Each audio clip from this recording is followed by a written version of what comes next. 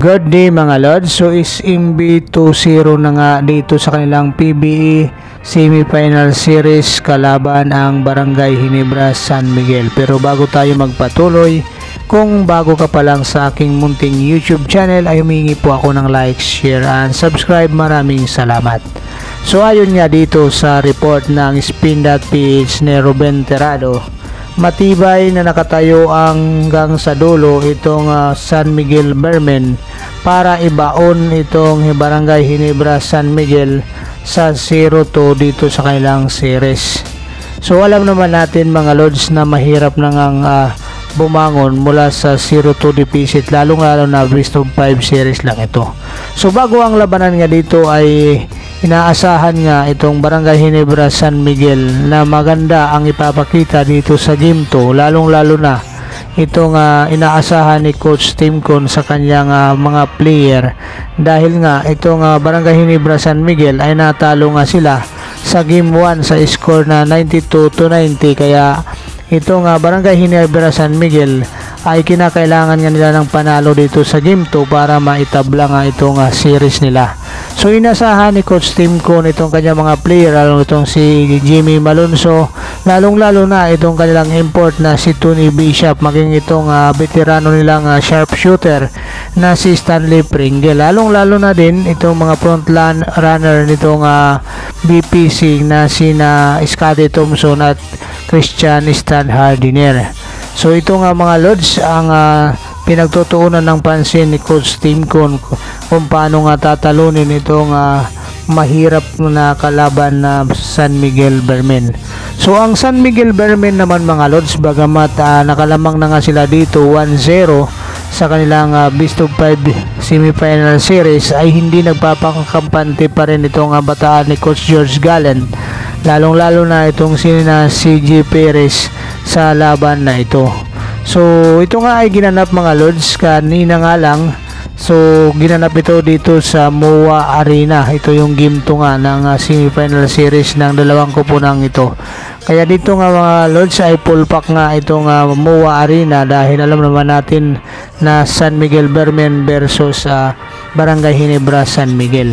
So sa umpisa ng laban nga dito mga lords ay pinakitaan agad nitong uh, import niya si Bini Boatwright itong uh, Barangay Hinebra San Miguel na hindi nga sila um, nag-aatubili na ipasok ang bola sa loob ng uh, painted area.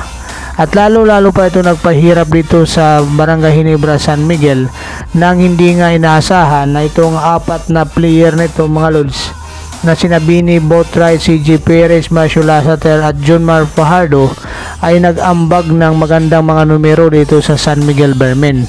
So itong si Bini Boatwright, bagamat na uh, limitahan ito nung uh, game 1, dito sa game 2 ay nag-score ito ng 38 points.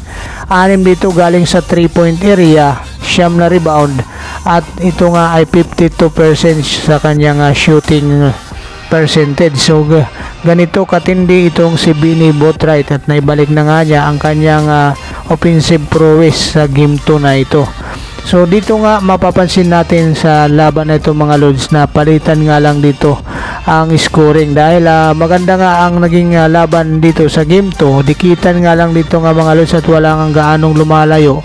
Dahil itong si uh, si Tony Bishop o katsaka itong si uh, Jimmy Malonzo kung saan itong si Jimmy Malonzo ay umiscore ng 27 points 8 rebounds at 4 na assist para dito sa Barangay Hinebra San Miguel. At hindi nga ito bumibitaw dito sa laban na ito maging sa opensiba at saka sa depensa. So ipinapakita nga nitong si Jimmy Malonzo at dito nga sa tira naman itong si Maverick Hanmisi ay napahiga na lang itong simuala tautuwa sa sahig dahil hindi nga ito umabot.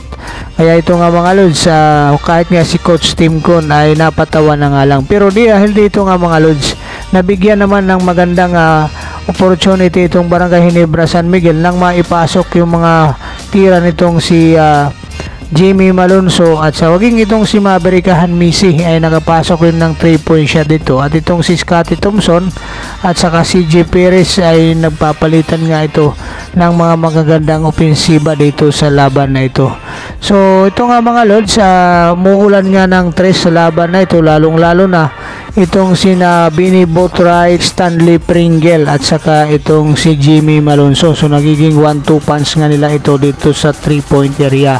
Samahan pa ng hustle rebound nitong si Scottie Thompson at kasabay pa yung sang drive na maganda. Ngunit itong si Marshall Lasseter ay hindi naman pumapayag at lalong-lalo nang nagiinit ito sa 3-point area. Sa katunayan ay apat na 3-point shot ang naipasok ni Marshall Lasseter sa kanyang 16 points at sinamahan pa ito ng uh, dalawang steals. So itong si Marshall Lasseter ang masasabing ansang hero nga dito sa panalo ng uh, San Miguel Bermen dahil hindi na nga ito gaanong uh, maganda ang nilalaro ng mga nakaraang uh, laban nila. So itong si CJ Perez bagamat uh, mas mababa ito kaysa sa una niyang naging uh, production 17 points pa rin at 7 rebounds ang kanyang naiambag dito sa San Miguel Bermen. So ito ay sapat na para bigyan ng panalo itong San Miguel Bermen.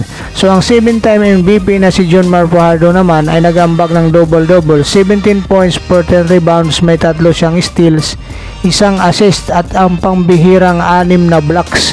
Ganito katindi itong si John Mar Fajardo mga lords. Sa anim na blocks ang kanyang naibigay dito sa kupunan niya. At itong si Don Troliano naman ang magic bunot para dito naman sa pagdidipinsa dito sa import ng uh, Barangay Hinebra San Miguel na si Tony Bishop. So yun ang naging trabaho nitong si Don Troliano. Napahirapan nitong si Tony Bishop. Bagamat nakaka-score pa rin si Tony Bishop ay nalilimitahan din itong si Tony Bishop nitong si uh, Don Troliano.